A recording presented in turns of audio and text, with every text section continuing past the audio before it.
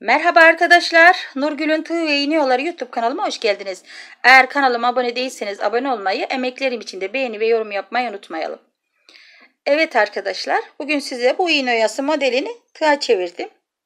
Bu şekilde. Şimdi bu modelin e, tığa çevirmiş hali de şu şekilde oldu. Evet, iğneye çevirmiş hali de bu şekilde arkadaşlar. Bakın ara suyuyla, çiçeğiyle, içinin sinek kanadıyla resimdekinin birebir aynısı, tıpkısının aynısını sizler için hazırladım arkadaşlar. Şimdi modelimizin anlatım kısmına geçelim. Evet arkadaşlar, ipimizin renginden sade yemeğine yapacağız e, modelimizi. Şimdi ikişer zincir çekerek tülbentimizin kenarlarını, dört kenarını bu şekilde tığ battılar hazırlıyoruz. Herhangi bir tığ battığımızın içine sık iğne ile girip Buraya ilk önce arkadaşlar 4 zincir çekerek başlıyoruz. 1, 2, 3 ve 4. 4 tane zincirimi çektim ve yandaki tığ battıdan hemen şöyle arkadaşlar ister normal sık iğne ister sahte sık iğne nasıl kolayınıza geliyorsa arkadaşlar bu şekilde bir tane yuva hazırlıyoruz. 3 tane zincir çekiyorum. Şu şekilde 3 zincirimi şöyle tersine çevirip bu yaptığım 4 zincirli yuvanın içine girip sık iğne ile sabitliyorum. Şimdi arkadaşlar ben sahte sık iğne ile gösteriyorum ki hem gözünüz alışsın hem de arkadaşlar bu iğneden tığa diğer oyalarda fark etmiyor da sadece iğneden tığa da daha bir zarif durduğunu düşünüyorum. Ve 6 tane zincir çekiyoruz. 2, 3, 4, 5 ve 6. Bu şekilde sık bir şekilde 6 tane zincir çekiyorum. Şu tepedeki tomurcuğu yapacağız arkadaşlar. Bu 3 zincirle geriye döndüğüm yuvamın içine bu 6 zincirimi bu şekilde kapatıyorum. Sık iğne ile sabitledim. Ve 4 tane de zincir çekiyorum. 3 ve 4. Hemen yandaki tığ battıma girip sık iğne ile sabitliyorum. Ara suyumuzun yapımı bu kadar arkadaşlar. Bakın bu şekilde hiçbir farkı yok.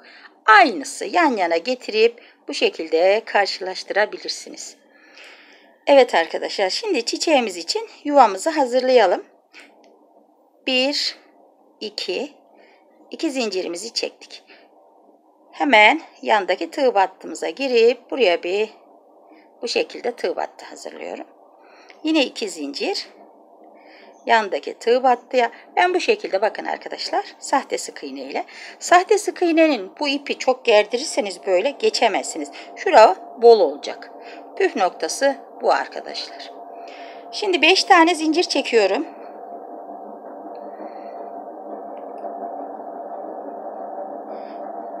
Ve bir tane arkadaşlar buraya tığ battı bırakıp hemen yanındaki yuvanın içine bu altı zincirimi buraya kapattım. Şu yeşil yapraklarımız için bu sinek kanatlarımız için yuva yapmış olduk arkadaşlar.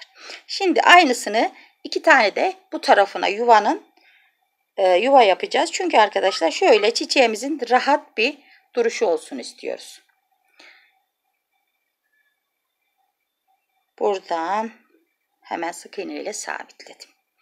Yine iki zincir Yine sık iğne ile sabitledim. Bu şekilde arkadaşlar ben 3 tane koydum örnek amaçlı. Şimdi 3 tane de bu tarafına yapacağım. Siz 5 de yapabilirsiniz. Benimki örnek amaçlı dediğim gibi. Bir tane size gösterelim tekrar arkadaşlar. 4 zincirimi hemen yanındaki tığ battıma sık iğne ile sabitliyorum. Üzerine 3 tane zincirimi çekip şöyle geri dönüp bu yaptığım 4 zincirli yuvanın içine sık iğne ile sabitleyip buraya da 3 zincirden yuva yaptım.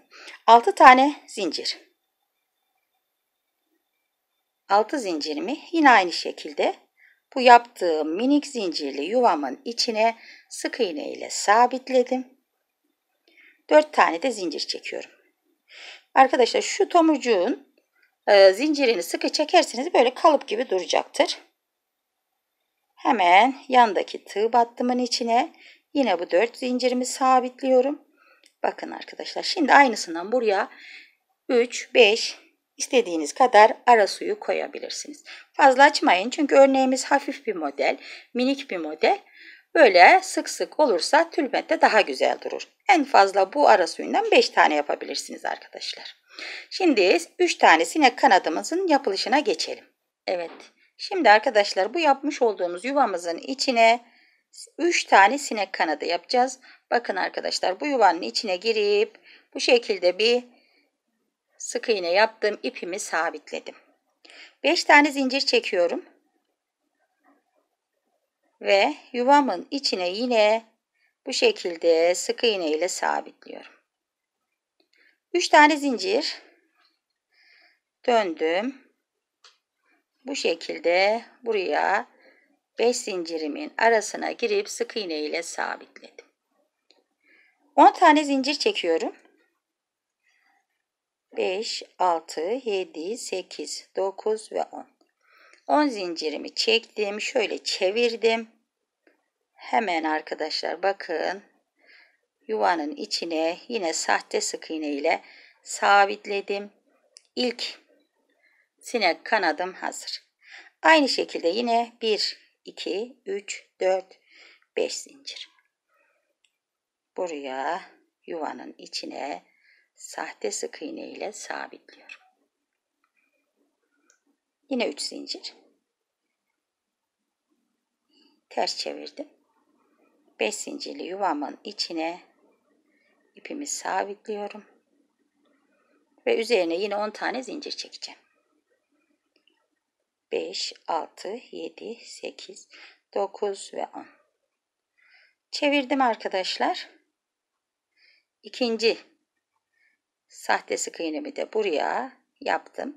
Şimdi yanına bir tane daha yapıp geliyorum. Evet arkadaşlar sinek kanatlarımız hazır. Şöyle ters tarafına çeviriyoruz sinek kanatlarımızı.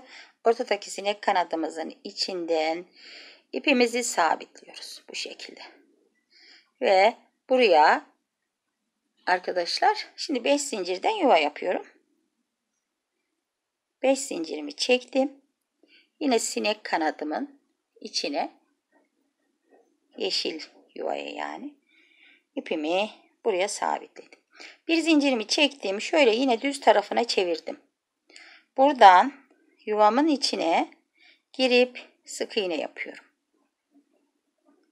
Şimdi arkadaşlar buraya bu 5 zincirli yuvanın içine 3 tane sinek kanadı yapacağız. 5 zincir çekerek başlıyorum. 1, 2, 3, 4 ve 5. 5 zincirimi çektim. Hemen arkadaşlar buraya sık iğne ile sabitliyorum. Bakın bir tane ilmek oluşturdum. Yine arkadaşlar 3 zincirimi çekip şöyle tersini çevirdim.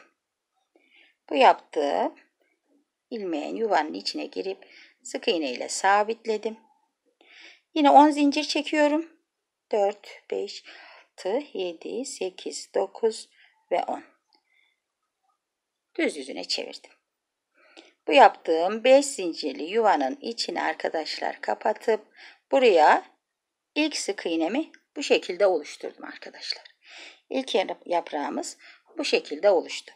Bu 5 zincirli yuvanın içine aynısından 3 tane sinek kanadı yapıyoruz.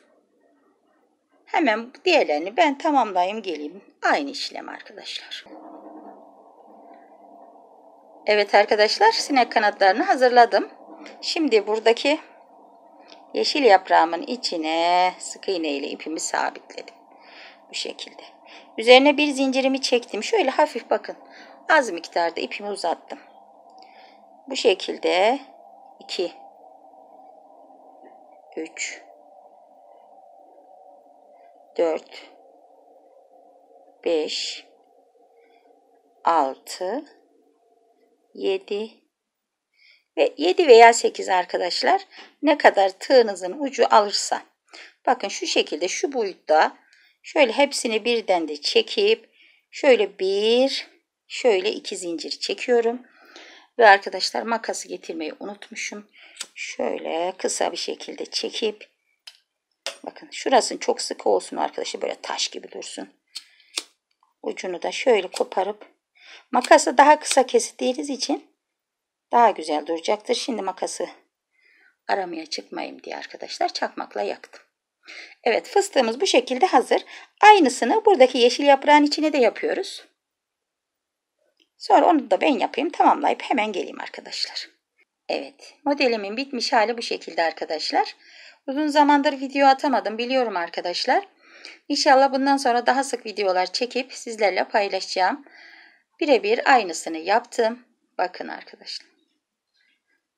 Birebir aynısı oldu. Çok da hoş ve zarif oldu. İnşallah artık bu videolarım devamı için bana destek olup böyle yorum ve beğeni yapıp arkadaşlar İnşallah desteklerinizi bekliyorum. Modelim bu şekilde. Çok hoş, çok zarif oldu. Ben çok beğendim. İnşallah siz de beğenmişsinizdir. Allah'a emanet olun arkadaşlar. Hoşçakalın.